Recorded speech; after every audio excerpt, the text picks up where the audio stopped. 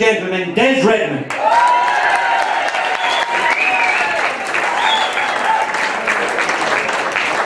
That man? Have I the right tool in my hand? Can you see me?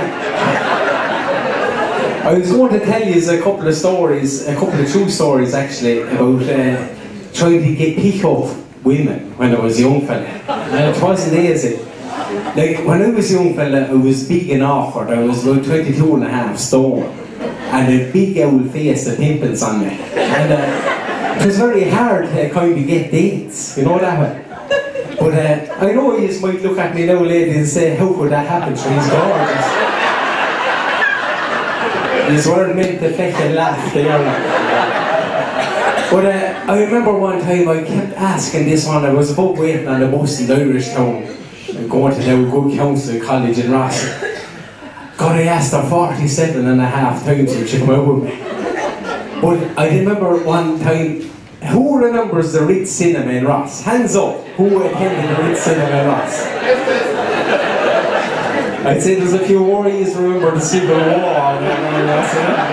But uh, Jenny, I asked her anyway, and Saturday Night Fever was the movie on in the Ritz. And uh, I says to her, will you come with me? And after 47 and a half times, she says, will you pay for me in? I says, I will. Will you buy me something out the shop? I will.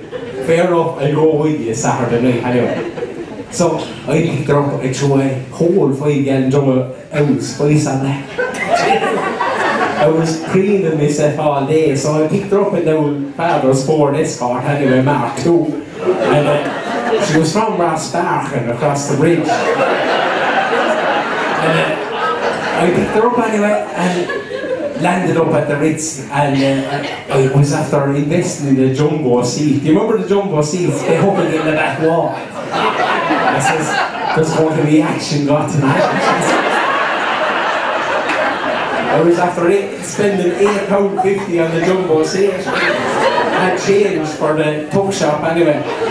But I don't know if you remember, the, the, the Ritz Cinema was, was run by a husband and wife, and an uncle was the usher, the fellow with the torch. And they were all from Rossbach. And. But, uh, I'll never forget Shammy, the fashion usher. He was a serious man. He took no there was no intimacy allowed at all. But I didn't know there was going to be no intimacy anyway. But I sent her up to the jumbo sea with the ticket and I says, I go to the shop. I says, I'll get you a few yolks. So I went down to the shop anyway. And uh, the husband and wife team were running the shop. And there was a over out one on between the two. I'll never forget. This is only in passing now. This is not the main story. They were there. And there was a over out going on.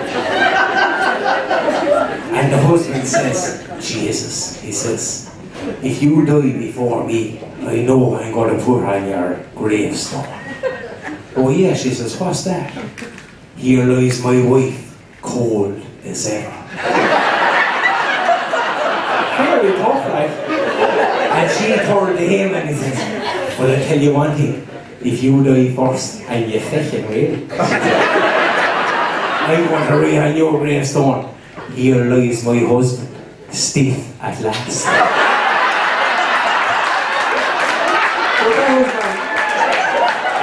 I uh, queued up and I, I queued up and I bought a can of fizzy orange and a curly whirly. For I said, had, had no change left I would head on the way we said anything. So we landed into the cinema anyway er with the curly whirly and fizzy orange. I kind of, I didn't walk in, I kind of sauntered. And I sat down beside her and I handed her the curly whirly in the can of orange. And she says, I tell you, she says, some ground rules here, she says. She says, you see that line? She was after putting the fucking white chalk line down the middle of the jump. I if any part of you cross that line, whether it be a fucking hand, leg, or a toenail, I'll fucking kill you, she says. You know where this is going, then like there was was going to be no action that night. but uh, that was grand anyway in the store. But the next thing, I was talking to a fella, Sean Bio Maureen. He was from Tulla. And he was he was down in the queue for the curly whirlies. I was talking with him already.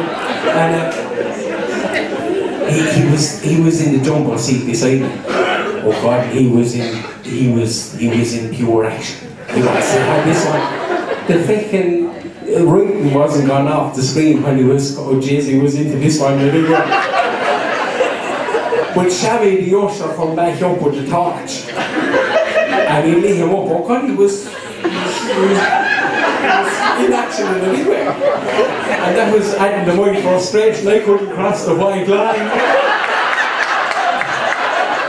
But uh, had up the torch and we were leading on this fella. And he says, hey boss, he says, he says, stop that and get the feck out of here. And your man says in a great Huller accent,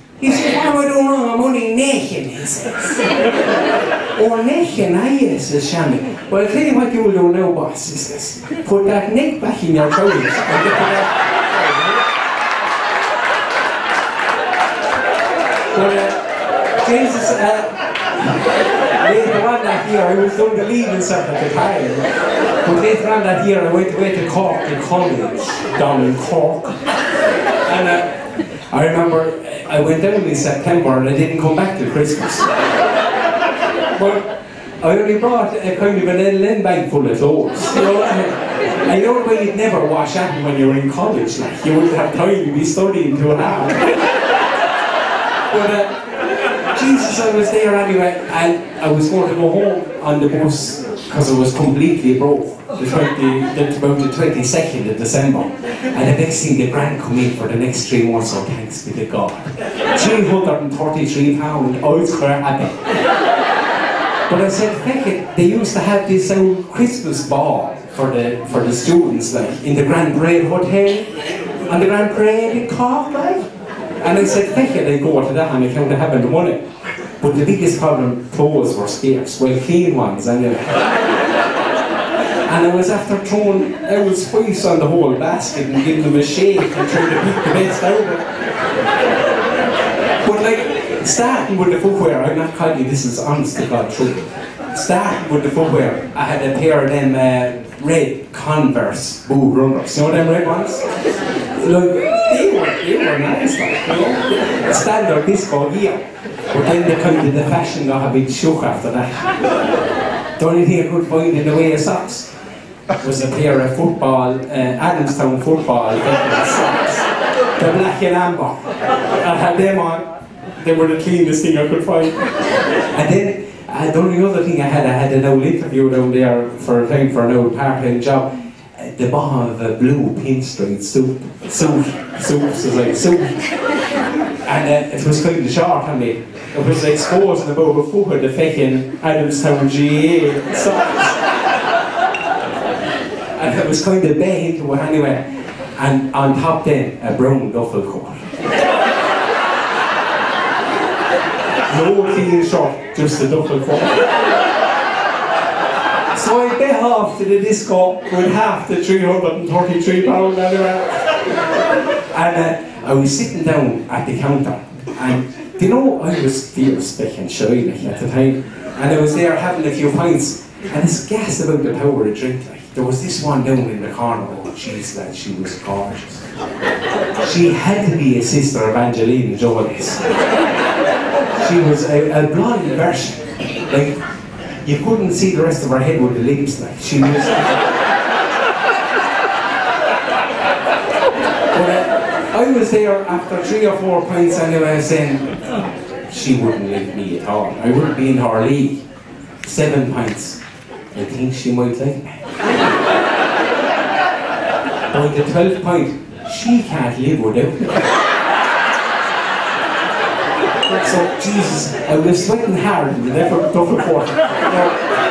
But I said, thank you, I'm going to make a play for this one. And I was watching all night and she was calling everyone away like, no, no, no, no dance with anyone. And I said, she's after spotting me now and she wants me. So I started over towards her. Oh Jesus, sweat was running off me. I threw two fistfuls into the hair to shove her the way. And I headed over. I felt like a, a fighter pilot. Locked and loaded. Target, target inside. But like, well, I didn't really think about it. I wasn't fucking driving a fucking fighter plane. I was driving a brown duffel. So he started across, you know that kind of the slow, hairy ass walk. I do it in slow motion, you know, and across this way. He had a turnip under each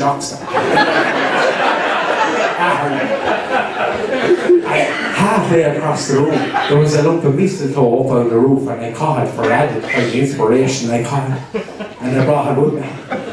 And I landed up against her. Anyway, and I says to her, Will you kiss me under the mistletoe? And she had her jaw dropped the minute she looked at me. I thought this is going when she's in awe. Because it was seemingly pure shock. I says to her, Will you kiss me under the mistletoe? And she looked at me. Kiss you under the mistletoe, is it? And she says, To be quite honest with you now, what? I wouldn't kiss you under a general anesthetic. Thanks very much. Good luck.